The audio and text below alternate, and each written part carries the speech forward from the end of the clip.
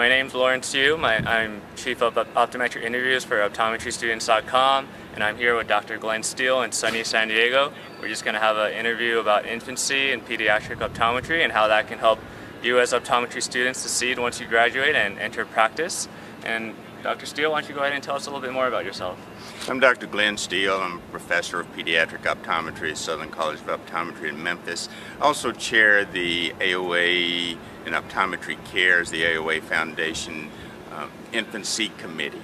And um, there, there's about six of us that work together to uh, develop the program, and it's a wonderful team to work with. How, how can you tell us more about how the AOA plans on increasing awareness of pediatric optometry so that new graduates out of school they can they can rely on having a, a patient population base that will be more infant and children based?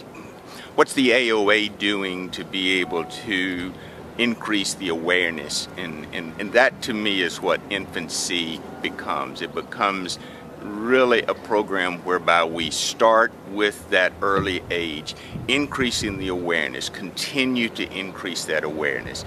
We now have collaboration with some 30 or 40 organizations outside of optometry that we never had before. That's another thing InfantSEE has done.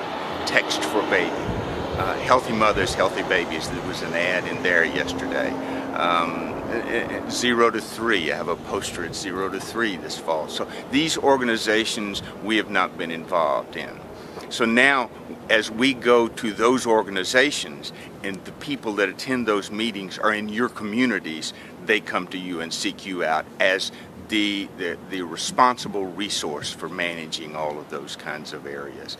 And so it, it's not only promotion through AOA, yes, we are going to have our own um, uh, and, and InfantSEE, we're going to have our own promotion programs, but in collaboration with other organizations that are not just now in, in quote AOA, they're outside of that and they're in your local communities. So you become a resource for them. Do you have any kind of advice or words of wisdom for students who are still in optometry school?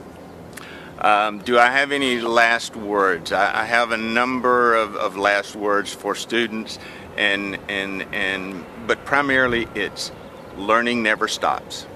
If you stop learning, then the world is going to pass you by.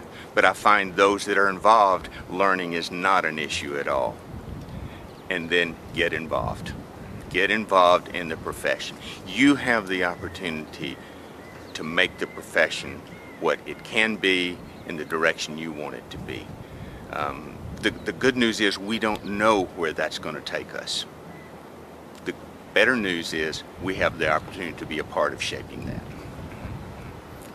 So let's do something a little bit more fun. We'll just play kind of like a word association game. Okay. So I'll say a word and you say the first thought that comes to your mind. It could be one word, it could be a few sentences, whatever you prefer, but just let it out. Don't, okay. don't hold anything in. So let's, let's start here. Future of optometry future of optometry, the, the, the door is wide open for us. We got to walk through. Okay. But if we don't walk through, and optometry students? Optometry students, uh, the lifeblood of our profession. Um, and, and you are the ones that have the opportunity to walk through that door and, and shape the future. AOA? AOA, the, the, the mother organization. First, become a member of AOA because regardless of the privileges you have and you think you have now, those can be taken away and those should be protected by every means possible for your patients. You have privileges now that I didn't have when I started into practice. And you have those privileges now just upon graduation. Utilize them, protect them and that's what AOA can do for you. Pediatric optometry? Pediatric optometry, uh, so many people think that's a specialty.